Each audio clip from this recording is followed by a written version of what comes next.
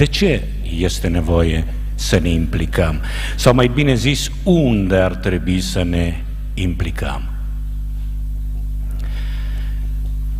Cinci degete la o mână. Sunt cinci lucruri pe care trebuie să le considerăm în această seară. Că este nevoie ca în aceste domenii să ne implicăm fiecare dintre noi.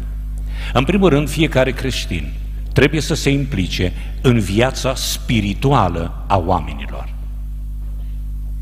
Omul nu trăiește numai cu pâine și cu apă. Omul are nevoie de cuvânt de la Dumnezeu, omul are suflet, omul are nevoie de Dumnezeu. Omul este o ființă spirituală, trupul trece, îmbătrânește, moare, se duce, Duhul rămâne în viac. Așadar, tu trebuie să te implici pentru veșnicia oamenilor, pentru starea lui spirituală, pentru împăcarea lui, pentru pocăința lui, pentru mântuirea lui. Implică-te în viața spirituală a oamenilor. Biserica este chemată să se implice în primul rând la baza lucrării ei, la baza existenței ei stă implicarea în viața spirituală a oamenilor. Dumnezeu să ne umple cu Duhul Sfânt ca să ne putem implica în viața spirituală a oamenilor. Doi, biserica trebuie să se implice în viața emoțională a oamenilor.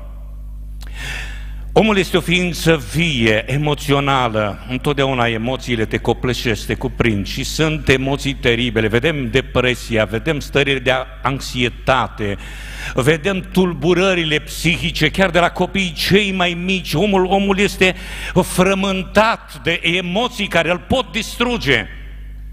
Creștinul este chemat să vină în ajutor celui care plânge, celui care este distrus, celui care este disperat, celui care este dezamăgit, celui care este confuz.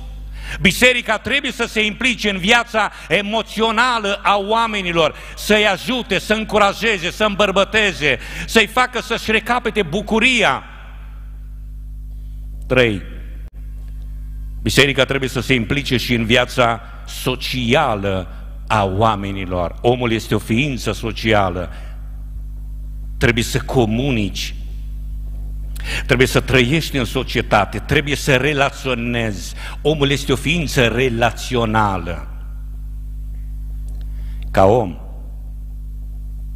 ca creștin, tu trebuie să te implici și trebuie să fii un om relațional, adică un om prietenos, un om la îndemână un om de încredere dacă e să ascult pe cineva, un om care tratează cu respect, cu demnitate pe cel cu care discută, cu care comunică. E nevoie de implicare și în viața socială a oamenilor.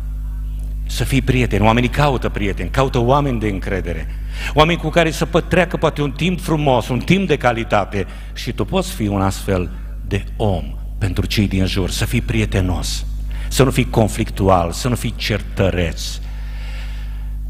4. Biserica trebuie să se implice și în viața educațională a oamenilor.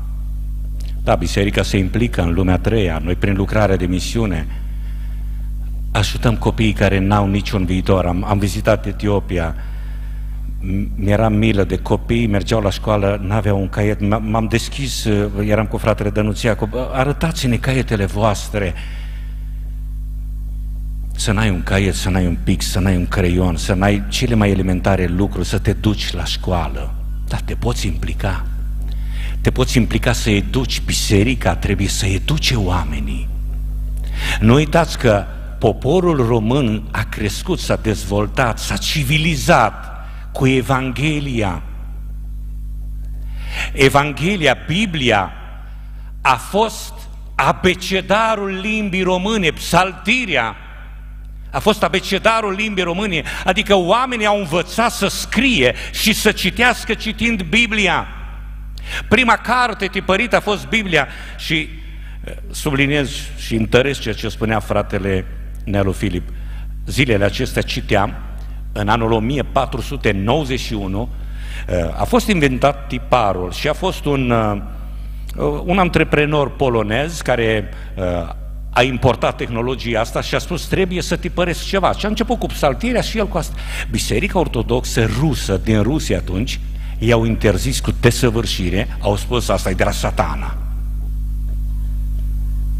Trebuie să scoatem afară și l-au, efectiv l-au, l-au terminat pe omul ăsta și n-au acceptat faptul că s-a inventat ceva care îl poate ajuta pe om să aibă cartea asta sfântă în mână, să o citească.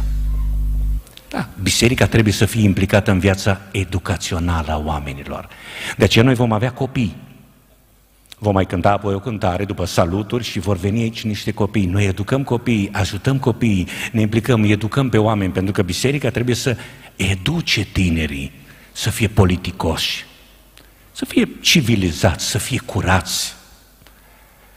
Și mă opresc aici, pentru că în al cincilea rând, biserica prin creștini, prin membrii ei, trebuie să se implice și în viața economică a oamenilor. Credința fără fapte este moartă. Religia adevărată și neîntinată înaintea lui Dumnezeu este să cercetăm pe văduve și pe orfani în necazurile lor. Asta înseamnă să te implici în viața economică. Oameni care poate n-au o bucată de pâine. De asta noi vom face colete. Eu vi le prezint acum. Seara asta am făcut coleta pentru ITP. Mâine vom face coleta dimineață pentru APME. Adică Agenția Pentecostală de Misiune Externă. Misionari de ai noștri români care merg în general în țări musulmane, în țări din lumea a treia, vorbind de civilizație, și investesc acolo timpul lor și resursele lor și vrem și noi să le dăm o mână de ajutor. Mâine seară, în schimb, vom face o coletă pentru o altă organizație, Teen Challenge, care se ocupă cu recuperarea, mai ales a tinerilor afectați de dependențe de droguri și tot felul de dependențe, din care cu greu se poate ieși. Și noi vedem minuni și Dumnezeu face minuni și e nevoie. Și ei uh, lărgesc frontul lor de lucru. La, un moment, la momentul acesta au doar uh, opt locuri la Cluj. Vor să construiască ceva mult mai mare, mult mai important. Și vedem rezultate și ne vom implica și pentru aceasta. Dar apoi, duminică dimineață, vom face o coletă specială. Știți că în județul Galați, în mod deosebit, au fost inundații. Oameni care au pierdut totul într-o oră toată munca lor de o viață. Pe lângă coleta asta ne rugăm și pentru Ucraina, avem și un grup din Ucraina și duminică vom împărți cumva că vrem să sprijinim și lucrarea din Ucraina, dar să o sprijinim și pe cea din România.